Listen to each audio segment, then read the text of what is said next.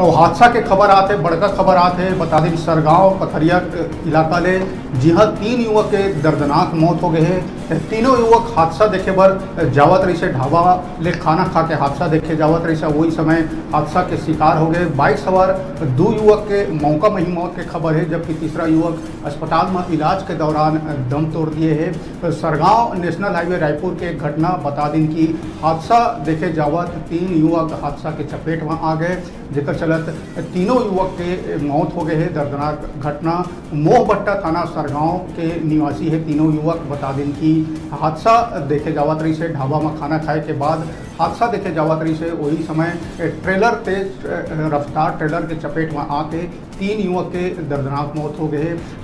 दो युवक के मौका में ही मौत हो गई से, और तीसरा युवक इलाज के दौरान दम तोड़ दी तो ये दर्दनाक घटना रायपुर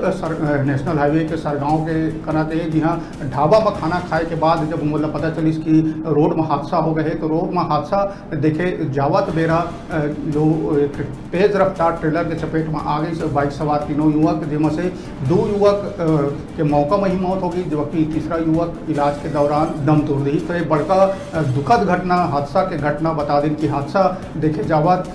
खुद हादसा के शिकार हो गए, बाइक सवार तीन युवक मन जिनमें से दो युवक के मौका में ही मौत हो गए। बता दी, तेज रफ्तार ट्रेलर के चपेट में आ गई से तो दर्दनाक हादसा के खबर पथरिया इलाका ले। बता दिन कि मोहभट्टा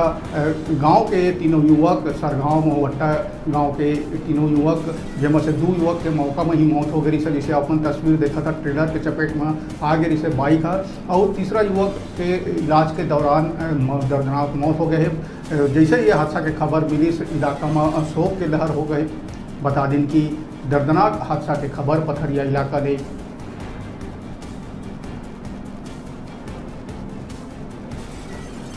तो हादसा देखे जावत मेरा तीनों युवक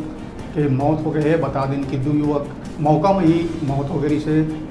तेज़ रफ्तार ट्रेलर के चपेट में आ गई से। ढाबा ले खाना खा के जावा तरी से हादसा देखे वही दौरान ये दर्दनाक हादसा हो गए तीसरा युवक अस्पताल में इलाज के दौरान दम तोड़ रही तो दर्दनाक हादसा के खबर पथरिया इलाका ले आते बता दें कि तेज़ रफ्तार ट्रेलर के चपेट में आके तीन युवक के दर्दनाक मौत हो गई